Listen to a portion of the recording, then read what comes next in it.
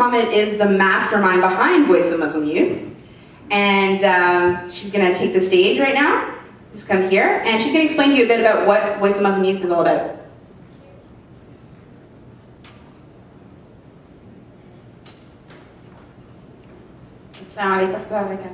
How's everyone doing? Um, well, first I would like to all welcome you, um, brothers and sisters, to our first uh, Voice of Muslim Youth political engagement session. Um, I would also like to thank the candidates for coming and taking some time from their busy schedule, I'm sure, uh, to be here with us and answer our questions that we have for them. Um, I would like to first start by actually talking to you about exactly who we are uh, as Voice of Muslim Youth Youth, and uh, as well talk about our organization, what is it, uh, what does it uh, support, and who we are exactly.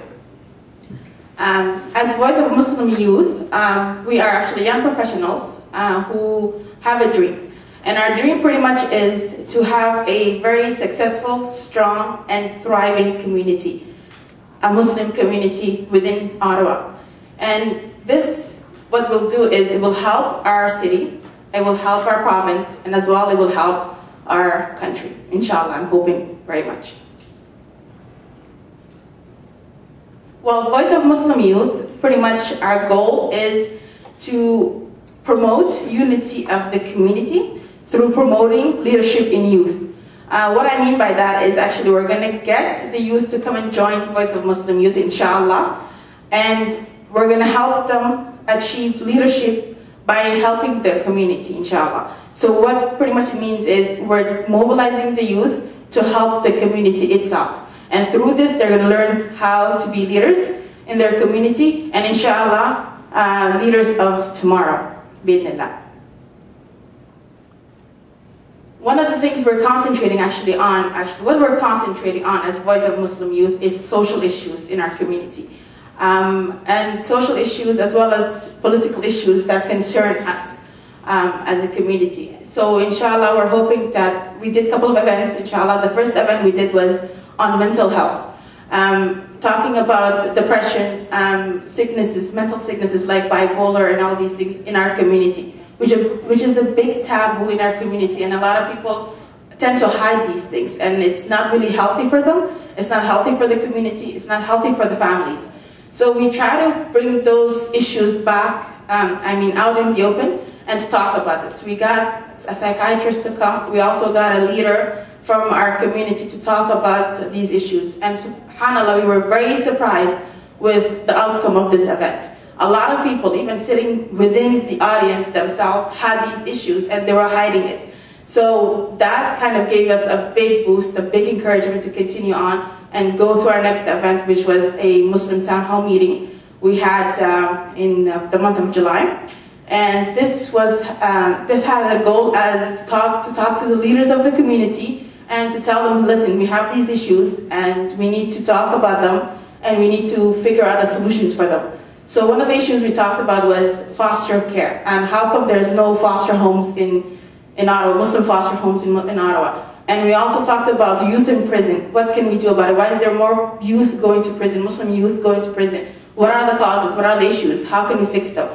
And another thing we talked about is citizenship, how to get more involved with politics, with um, with Canada, actually, become more Canadian, I, I can say. Um, so these are the events we're having. This is our the event uh, that's after the Muslim Town Hall meeting, and we're hoping you guys enjoy it very much, inshallah. So I will pass it on back to Chelby, and let's continue on with the, with the process. Thank you. Thank you, Kauthar. So um, I'm involved in recording this event. I attended the Muslim town hall meeting that um, Voice of Muslim Youth organized, and it's the first time I'd heard about them, but I was really happy to see that there was a Muslim group of youth that was really concerned with tackling social issues in our community. We have a lot of Muslim organizations, um, but as she said, there's, there's a lot of avoidance of the serious social problems we have in our community. So um, one of the topics was political engagement. So I was like, oh, I've had this idea of having, you know, like an all, all candidates session that was not a debate, even though I know it's very hard for the political candidates to not debate with each other, but um, that really would be a chance to, to engage with youth and see, you know, get the youth to actually think about voting because all the issues that they're talking about all relate to either different levels of politics. We're concerned about child and youth mental health. We're concerned about the prisons.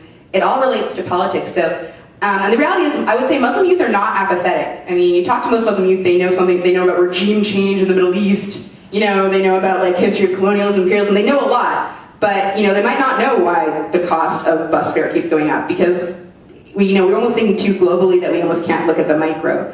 And so I really wanted to have a session where, you know, Muslim youth actually have a chance to start thinking about the, the small level. Because the reality is if we have people in our community going to prison, if we have a lot of our youth in our community dropping out of school, trying to deal with those global issues is going to be a lot harder. So it's about empowering our community. So this session is unique. Again, it's an experiment.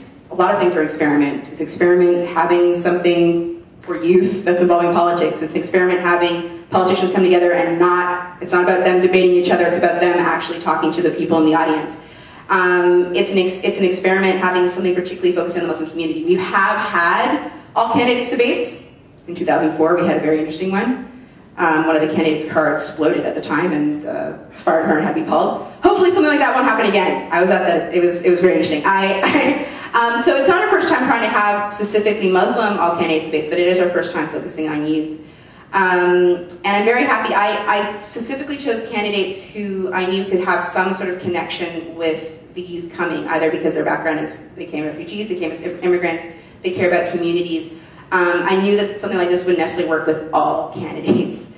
Um, unfortunately, the conservative, um, conservative candidate is not was not able to come. He's very sick today, but he will be answering the questions that have been asked. There's six fixed questions that have been asked um, related to six priority areas that have been identified by Muslim youth and Muslim youth workers. Um, so how this event's going to work is that there's six fixed questions that have to be answered by the candidates who are first going to introduce themselves. Um, and then there'll be an open session where people, um, priority going to youth, um, will get to answer, sort of ask questions freely. Um, there also will be breaks for prayer, so we'll be respecting that. Um, guys, you guys can pray in here. There, we have some sheets, and women will be praying in the big room just down there, and people will be directing you to that.